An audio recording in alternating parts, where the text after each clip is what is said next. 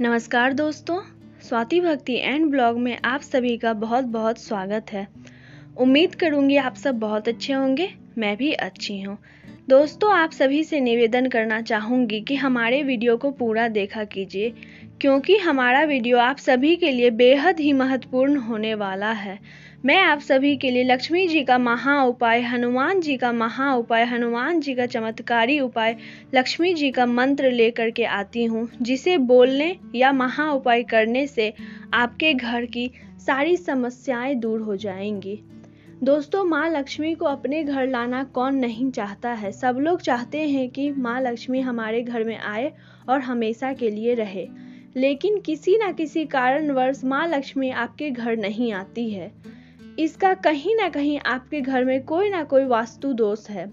जैसे कि आपके घर में नकारात्मक ऊर्जाएँ हैं या किसी भी तरह की कोई और भी समस्याएँ जैसे कि आपके घर की मंदिर सही दिशा में नहीं है, आपने कहीं गलत दिशा में तुलसी का पौधा लगा रखा है, आपने कुछ गलत कार्य किया है अपने घर में जिससे कि माँ लक्ष्मी आपके घर में नहीं आ पाती है। आप दिन और रात पूजा अर्चना करती हैं, लेकिन फिर भी आपके घर में लक्ष्मी जी का आगमन नहीं हो पाता है। आज मैं आपको बताऊँगी, अगर आपके घर में किसी भी तरह की नकारात्मक ऊर्जाएँ हैं या किसी भी तरह की समस्याएँ हैं, जिसके कारण माँ लक्ष्मी आपके घर में नहीं आ पाती है तो वह दूर हो जाएगी और माता रानी आपसे प्रसन्न ज़रूर होगी। दोस्तों, माँ लक्ष्मी को धन की देवी कहा जाता है। माँ लक्ष्मी को अगर हम लोग प्रसन्न करेंगे तो हमारा किसी न किसी रूप से सारी समस्याएँ दूर हो जाएँगी। अगर आपके घर में माँ लक्ष्मी का तस्वीर है या माँ लक्ष्मी गणपति जी का मूर्ति है तो हमें नित्य दिन उसे कैसे पूजा करना है, मैं आपको बताऊँगी।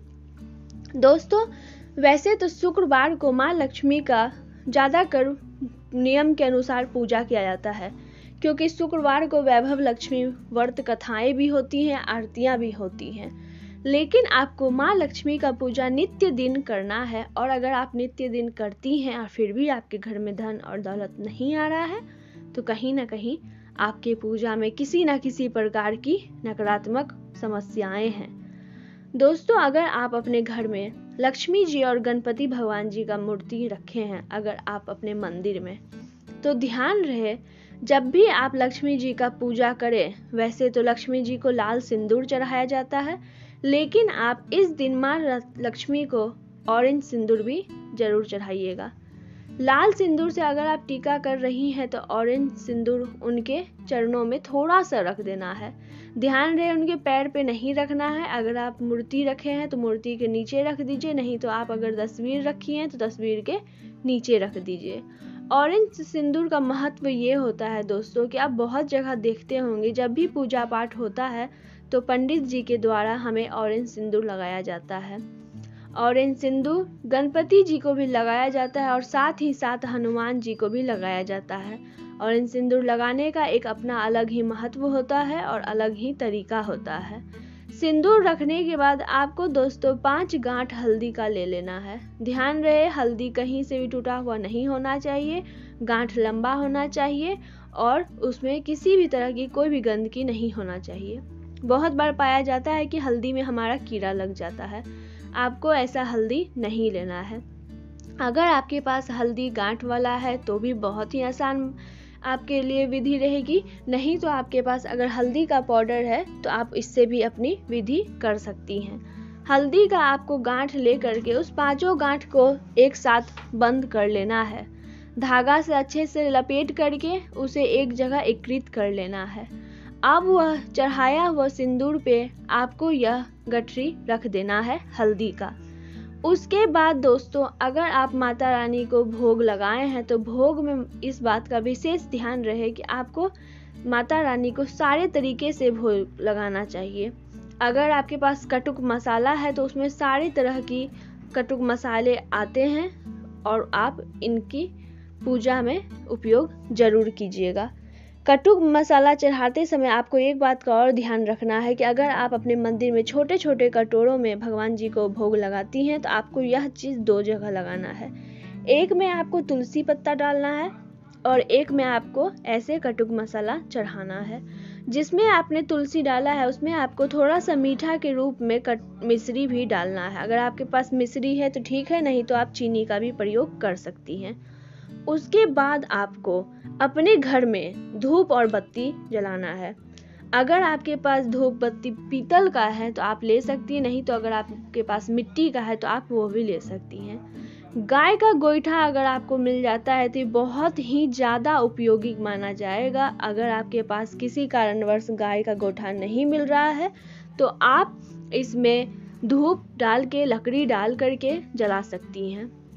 धूप जलाते समय एक बात का और आपको ध्यान रखना है। अगर आप गोईठा भी जला रही हैं तो इसमें थोड़ा सा आपको घी भी डालना है। और अगर आप लकड़ी से जला रही हैं तो आपको इसमें थोड़ा सा तिल का तेल डालना है।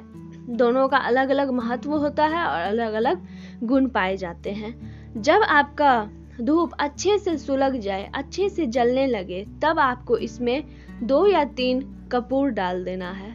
कपूर डालने का भी एक अपना महत्व होता है। क्योंकि हम लोग कभी भी कोई भी आरती करते हैं तो उसमें कपूर बाती करके बोला जाता है, जिससे यह साबित होता है कि आपका कोई भी पूजा हो, कपूर जलाए बिना वह कहीं ना कहीं अधूरा माना जाता है।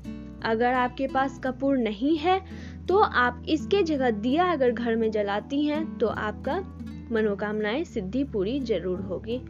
दोस्तों, कपूर जलाते समय आपको एक बात का और ध्यान देना है। कपूर देते समय आपके हाथ में लौ ना लगे और कपूर डालने के बाद उसमें आग जैसा लग जाता है तो आपको उसे बुझा देना है, क्योंकि कपूर का सुगंधित हमें कुछ देर तक अपने घर में रखना है। कपूर जलाने के बाद, कपूर अपने धूप में डालने के बाद आप इसमें लौंग का कुछ टुकड़ा डाल दीजिए। लौंग का टुकड़ा डालने का मतलब यह हुआ कि आप पाँच लौंग डाल दीजिए। लौंग को अच्छे तरीका से किसी भी तरह से आप तोड़ लीजिएगा कुछ अच्छे सामानों से, जो कि अशुद्ध ना हो।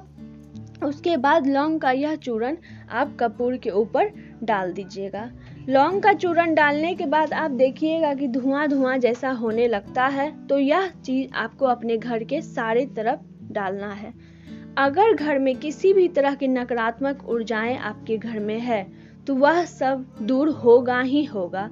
अगर आपके घर में किसी भी तरह की कोई भी समस्याएँ हैं तो आप उसे अपने मन में ले करके और चारों तरफ़ यह धूप बाती दिखाइएगा। ऐसा करने से भी आपके घर की सारी समस्याएँ दूर हो जाती हैं और इस धूप को आप माँ लक्ष्मी या गणपति जी के सामने भी जलाइएगा। और उन्हें अच्छे तरीका से दिखाइएगा। इस तरीका से पूजा करने से आपके घर की सारी मनोकामनाएँ पूर्ण हो जाएँगी। आपने जो प्रसाद चढ़ाया है, उसका एक भाग आप अपने घर में सबको बांट दीजिएगा और दूसरा भाग कहीं मंदिर में जा कर के रख दीजिएगा। ध्यान रहे, तुलसी वाला भाग आपको अपने घर में डालना है और जो एक कटोरा और आपने प्रसाद चढ़ाया है, वह आपको मंदिर में जा कर के रख देना है। इस तरीका से आपको शुक्रवार या किसी भी दिन आप अगर कर रही हैं, अगर आप मंगलवार कर रही हैं, बुधवार कर रही हैं तो आपको ध्यान लगा के उसी दिन आपको पाँच दिन करना है। बुधवार को कर रही हैं तो पाँच बुधवार, शुक्रवार को कर रही हैं तो पाँच शुक्रवार। ऐसा करने से ही आपके घर में माँ लक्ष्मी का आगमन ज़रूर होगा। दोस्तों, अगर वीडियो पसंद आया तो वीडियो को लाइक, चैनल को सब्सक्राइब कीजिएगा। मिलती हूँ अगले वीडियो में। धन्यवाद।